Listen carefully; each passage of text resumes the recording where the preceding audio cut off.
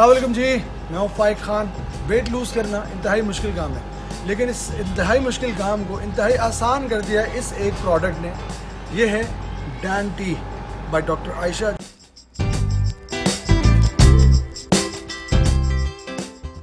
अस्सलाम मैं डॉक्टर आयशा आज हम बात करेंगे, हमने गोश्त इस्तेमाल कर लिया, अब हमारी तबीयत खूब बिगड़ गई, लेकिन घर में रहते हुए हम क्या कर सकते हैं?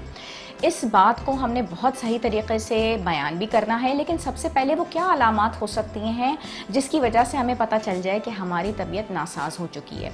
सबसे पहले तो हमें नोज़िया होगा, वॉमिटिंग होगी, पेट में बहुत दर्द होगा, तबीयत बिगड़ेगी और तबीयत काफ़ी ज़्यादा नासाज होने की सूरत में ये भी हो सकता है कि बुखार हो जाए और जिसम में बहुत ज़्यादा दर्द हो। सबसे पहले इंपॉर्टेंट काम ये है कि खाना पीना बिल्कुल बंद कर दीजिए, यानी कि मुँह पे टेप लगा लीजिए, ये सबसे इंपॉर्टेंट काम है।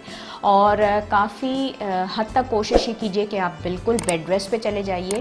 और seventy two eighty percent cases में जो हमारे पास पेशेंट्स अगर कंप्लेंट करते हैं या हमें फ़ोन कॉल्स आती हैं तो इसी से तबीयत बिल्कुल ठीक हो जाती है।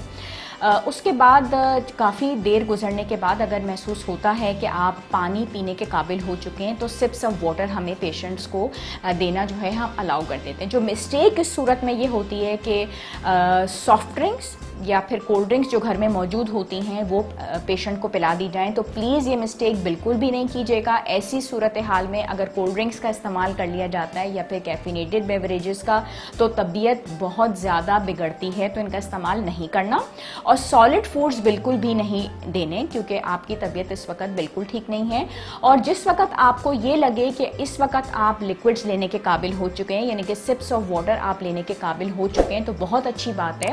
तो मज़ीद पानी का इस्तेमाल ज़्यादा बढ़ाया जा सकता है। उसमें ओआरएस का जो पैकेट है, वो भी बहुत अच्छी सोलूशन है और वो देना बहुत अच्छा रहता है। गोश्त वगैरह का इस्तेमाल बिल्कुल ठीक नहीं है।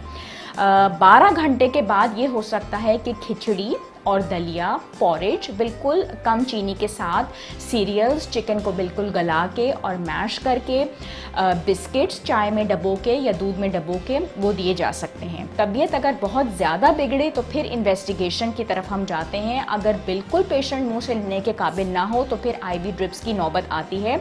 और इन्वेस्टिगेशंस के लिए अगर कहा जाता है, यानी कि वॉमिटिंग या डायरिया बिल्कुल सेटल नहीं हो रहा हो तो फिर हम मेडिसिन देते हैं। और अगर इन्वेस्टिगेशंस के बारे में हमसे पेशेंट्स पूछें तो, तो स्टूल का कल्चर हो सकता है ब्लड का कल्चर हो सकता है। प्रोलॉन्ग अगर तबीयत बिगड़े और साथ में एंटीबायोटिक्स का रोल भी आता है, अगर ऐसा महसूस होता है कि कहीं से ब्लड आ रहा है स्टूल में से, बुखार बहुत ज़्यादा है और कैफियत बिल्कुल भी ठीक नहीं हो रही। तो मैंने जो इससे पिछली वीडियो आपको बताई है, उसका देखना भी बहुत ज़्यादा ज़रूरी है, उसका लिंक भी मैं आपके साथ शेयर करूँगी। लेकिन प्लीज़ खाने पीने में बदहतियाती ना कीजिए और बहुत ज़्यादा बाहर का खाना भी सेहत के लिए अच्छा नहीं है। कोशिश करें कि गोश्त का अगर इस्तेमाल किया जा रहा है तो घर में प्रॉपरली कुकड फ़ूड खाएँ। लेकिन चूँकि बाहर के खाने का रिवाज बहुत ज़्यादा है, ऊपर से वेडिंग सीज़न भी बहुत ज़्यादा है तो जहाँ पे भी आपको लगता है कि आपकी तबीयत बिगड़ रही है, फौरी तौर पे इस चीज़ को इतना लाइट ना लें और डॉक्टर को ज़रूर विज़िट करें, अपनी तबीयत का बहुत ध्यान करें और कोशिश ये किया करें कि घर का साफ़ सुथरा खाना ज़रूर खाया करें। आई होप मेरी ये वीडियो आपको समझ में आ रही होगी और जिस वक्त आपकी तबीयत बिगड़ रही हो खाना पीना उसी वक्त बंद कर दिया करें और और फ़ौरन बेड रेस्ट किया करें और लिक्विड्स का इस्तेमाल ज़्यादा से ज़्यादा करें। थैंक यू सो मच और जो लोग मुझसे मिलना चाहते हैं अपॉइंटमेंट लेना चाहते हैं नंबर स्क्रीन पर डिस्प्ले हो रहे हैं। मैं मेडिलिंग Do Talwar first floor plaza shopping mall पर होती हूँ। अलखलीज टावर्स पे मैं फोर्थ फ्लोर पर होती हूँ Askari four opposite Millennium mall पर होती हूँ। ऑनलाइन मुझसे रबता किया जा सकता है और डान ऑलिव जो मेरा ब्रांड है, उसके प्रोडक्ट्स पूरे पाकिस्तान में कहीं पे भी डिलीवर हो जाते हैं। नंबर स्क्रीन पे हैं, आप लोग मुझसे रबता कर सकते हैं। खुश रहिएगा वीडियो को लाइक कीजिएगा चैनल को सब्सक्राइब कीजिएगा। बाय बाय एंड अल्लाह हाफिज ये है Dan T by doctor Ayesha जो कि बहुत मशहूर न्यूट्रिशनिस्ट है और शोबिस में जितने भी लोगों ने वेट वेट कम किया अपना, वो उनसे डाइट प्लान लेते हैं। न्यूट्रिशन से रिलेटेड एक पूरी लिस्ट होती है उनके पास मौजूद। है एक बहुत बड़ा नाम है। अब उनका ये प्रोडक्ट जो है डैन टी इसको आप रोज़ाना अगर आप डिनर के बाद यूज़ करते हैं तो आपके लिए बहुत इफ़ेक्टिव होगा। वेट लॉस के लिए बहुत इफ़ेक्टिव होगा। ये देखें आप, मैंने काफ़ी वेट लूज़ किया है। तो इससे साफ़ ज़ाहिर होता है कि इस प्रोडक्ट का मुझ पर काफ़ी अच्छा असर पड़ा। इसके इंग्रेडिएंट्स क्या है वो डॉक्टर आयशा ने मुझसे बिल्कुल भी नहीं शेयर किए क्योंकि एक सीक्रेसी होती है प्रोडक्ट से रिलेटेड तो अगर आप चाहें तो you can have it try it आपको मज़ा आएगा। थैंक यू सो मच अलैक्म कैसी हैं आप? खैरियत से? वालेकुम अस्सलाम अल्हम्दुलिल्लाह मैं ठीक हूँ। मुझे आप प्लीज़ बताएँगी कि आप कितने वेट पे हमारे पास आई थी?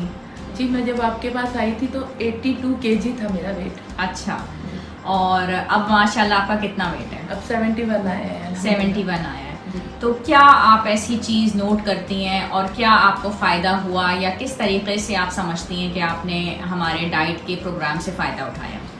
जी मुझे बहुत कम वक्त में बहुत ज़्यादा फ़ायदा हुआ। अल्हम्दुलिल्लाह जो मैंने आपका डाइट प्लान फॉलो करा तो उसमें अब मैं अपने आप को पहले मेरी तबीयत बड़ी बोझल रहती थी किसी काम में दिल नहीं लगता था काम होता नहीं था। अब मैं अपने आप को बहुत लाइट महसूस करती हूँ और एक्टिव हो गई हूँ अल्हम्दुलिल्लाह। अच्छा जी जी। आप फील करती हैं कि आप लाइट हो गई हैं? जी जी बिल्कुल। अच्छा और दूसरी बात ये कि डाइट प्लान यूज़ करने में कोई आपको किसी किस्म की प्रॉब्लम हुई है? नहीं, कोई प्रॉब्लम नहीं हुई मुझे डाइट प्लान यूज़ करने में, क्योंकि मैं समझती हूँ अल्लाह ताला की नेमतें इतनी कि अगर हम अनहेल्दी चीज़ें छोड़ दें तो हेल्दी चीज़ें बेशुमार हैं।